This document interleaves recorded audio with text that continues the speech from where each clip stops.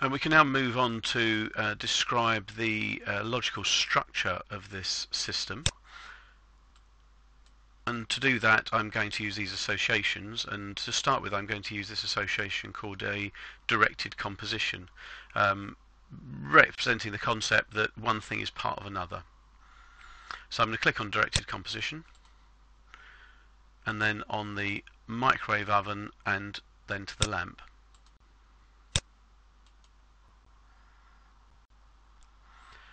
I'm just going to bend that line in the middle just to make it slightly neater.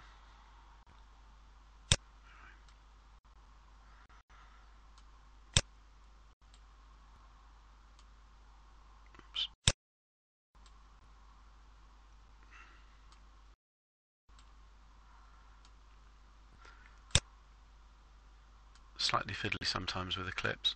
Um, and then I'm going to replicate that same um, relationship with all of these other blocks. So here we are. I've um, uh, laid out all of my blocks here, and you know you may spend some time tidying up the diagram a little bit,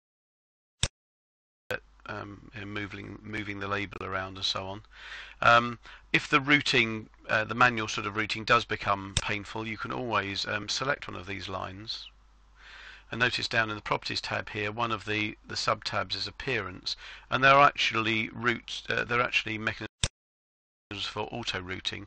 So for example, if I make this um, rectilinear, that will change its routing there. And, and, by the way, there are options for either the closest distance or avoiding obstruction so that it will do some level of um, auto routing.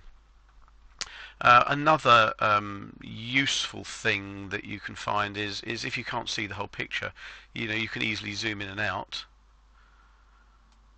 and on the uh, Windows machine I'm using, the control for that is either uh, using the keyboard is either using Control Plus, which zooms in, or Control Minus, which zooms out. So you can get a better view. Uh, you may also want to do things like change the width of any objects where the where the, where the titles are not clear. And when you've done that, you've got a diagram which represents the overall logical structure of this system. So, for, so it's its subsystem and the type of um, equipment or component or software which will be typically found within that uh, within the microwave oven.